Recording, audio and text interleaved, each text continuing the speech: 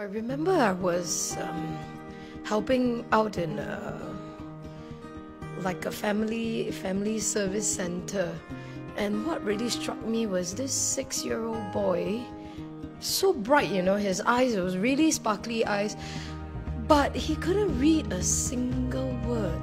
I remember that first day that I went in, I came back and I was telling my husband, I said, How can anyone be so short shortchanged?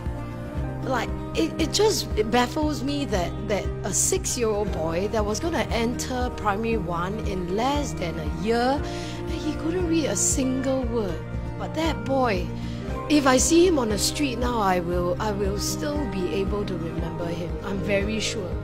Yeah. So he was the he was the factor. He was really the the turning point for me to really want to help children like that.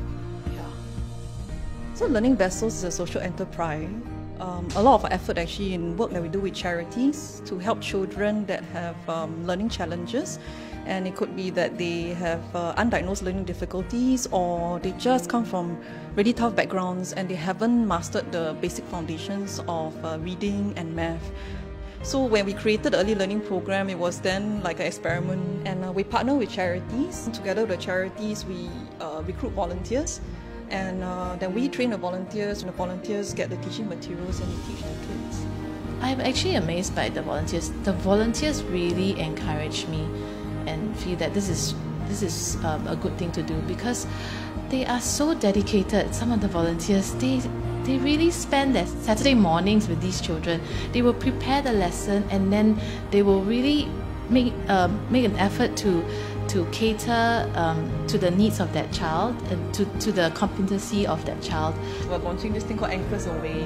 So we decided to, to actually create a whole series of videos where we took the parents through like these are the the main um, ways you can teach your children to learn. You can use things you have at home. You can make your own flashcards. But at least this is how you would, you can make your stuff and then and then teach your kids. The videos are all free. Also the videos are on our web page, um, but it's actually all also on our YouTube channel. So again, it's this you know the balance, right? Being a mercenary versus you know helping. And I think in the end we, we just said you know this will help all parents, whether you can afford it or you can't. Let's make it available and then let's see what let's see what the Lord does.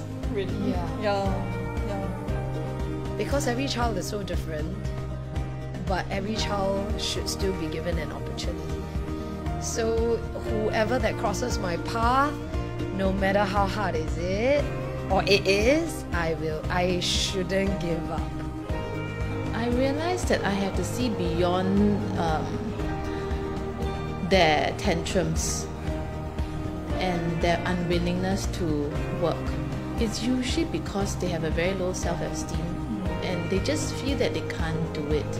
So they hide it behind the tantrums, behind um, all the mischief that they uh, are up to. So that has taught me that uh, I have to I have to see what's causing, what's the real issue behind um, behind that tantrum, behind that unwillingness, and then from there work. Yeah. What we are set out to be, we just want to really help to level the ground.